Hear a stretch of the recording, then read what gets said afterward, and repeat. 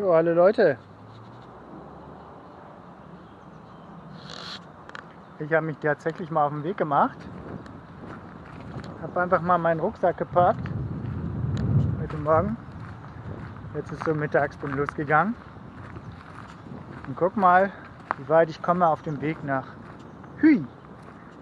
Da ist nämlich ein buddhistisches Seminar, das ich ab morgen Abend besuchen werde für drei Tage. Ist allerdings 90 Kilometer weg. Ich werde also wahrscheinlich nicht nur rein zu Fuß dahin kommen, aber ich denke, ich gehe mal los. Guck mal, was passiert, ne? Sehen wir mal. Also, ciao.